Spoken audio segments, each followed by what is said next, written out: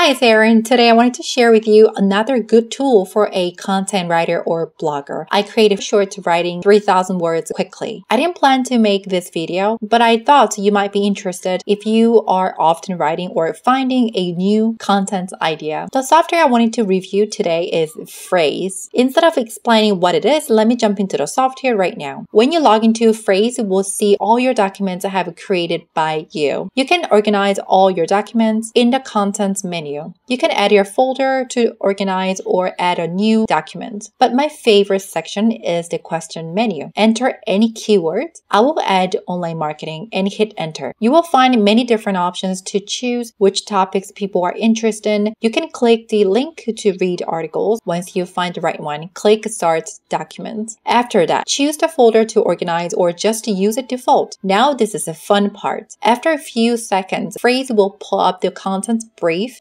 summaries topics, questions, links, and news. Now you want to click any of the topics and already existing contents to create your own. If you want to add paste or brief, click on the bottom of the page. All sources, topics, questions, links will be pasted. If you want to add any articles summarize, click summarize and add it to the documents. I thought it's a really good tool for quickly writing with plenty of information. I usually find all information first and start to customize. If you want to add any photos can drag and drop any spots you want, or click the plus icon to add photos and videos. You can track the topic score to decide what information you want to add more. Frase will save your document automatically so that you don't have to click anything. Once you're done, click the export to share link, Microsoft Word, HTML in text file, plain text, or PDF. If you do a share link, it will have links to find the topic easily. If you want to optimize an existing article, add the link. Frase will bring the text. You can start to check the score and customize it. If you want to write in different language, click the country you want and switch your keyword in your language.